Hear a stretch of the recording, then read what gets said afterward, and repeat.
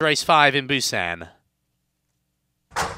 Those gates are back. They are away and racing better than you. Got a dreadful start on the outside. Just stumbled out of the gate.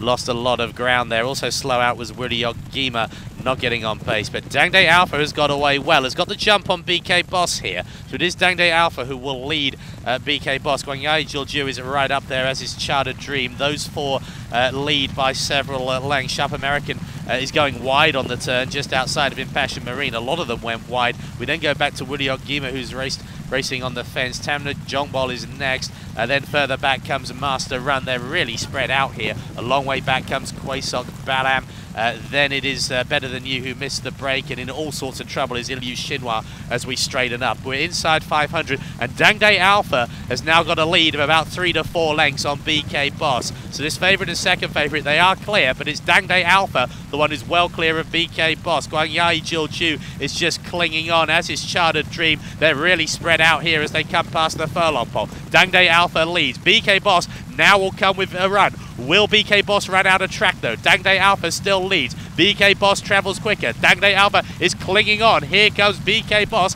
Here's the line. Dangdae Alpha from BK Boss. So uh, Chang Young getting the job done. Those two were the clear favourite and second favourite.